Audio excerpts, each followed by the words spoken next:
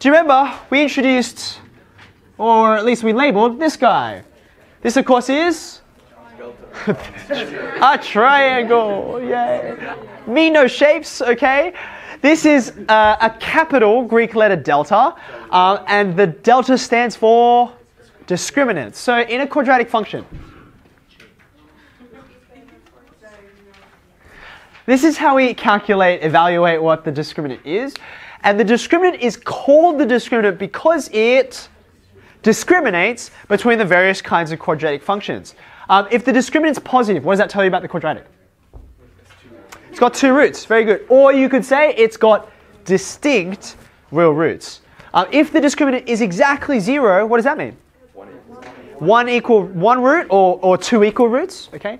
And if on the other hand the discriminant is negative, that means no roots, okay? Now, excuse me, we're interested in this because roots are very important to a quadratic, but roots aren't the only thing. And the discriminant can help us understand and classify quadratics even when you're not really thinking about the roots. And these classifications are what we've got up here. Okay, so what I want to help you understand is let's draw some pictures underneath this. Can you draw for me? Uh, let me count them. One, two, three small sets of axes. Three small sets of axes just beside each other is fine.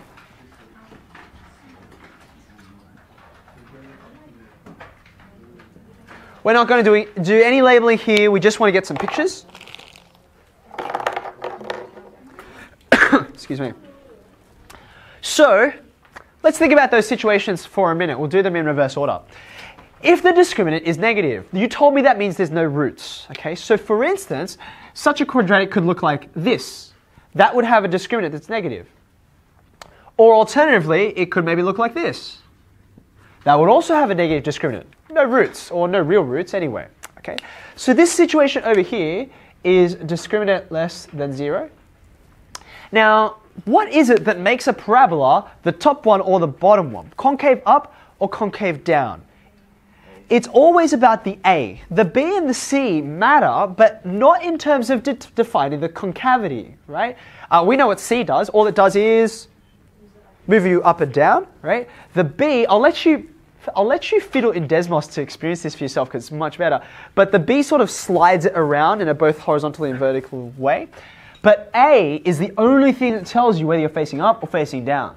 Okay? So in this case up here, you've got a positive value for A, concave up. Whereas for this guy down here, you've got a negative value. Okay? Now let's look at the top one. If your discriminant is negative, you've got no roots. If A is positive, it's concave up every value that this quadratic function will give you, no matter what input you supply, every output will be a positive number. Do you agree? They're all above the axis. Okay.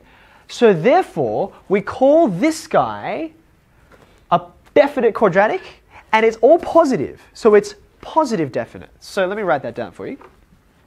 This guy up here is called a positive definite quadratic because every value, every output you'll get out of that will be definitely positive.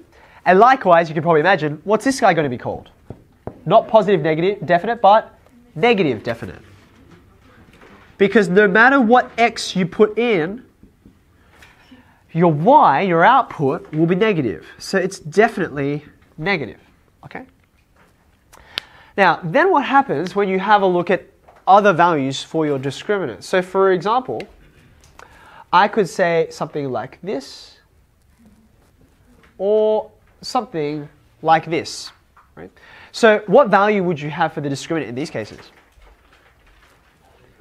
The discriminant wouldn't be negative, it would have to be positive to be one of these situations. Okay? In this case, dependent on what input you supply, you will have a different value for the output. It could be positive or it could be negative it's not definite which side you'll get because it changes.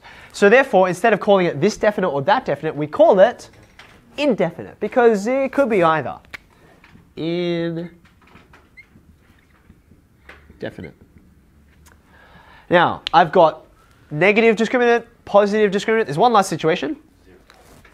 A zero discriminant might look something like this. Okay, so this is discriminant equal to zero. You can see the one root, root that's there or the two equal roots. Now, how would you describe this? It's tempting to say the left-hand one is positive definite.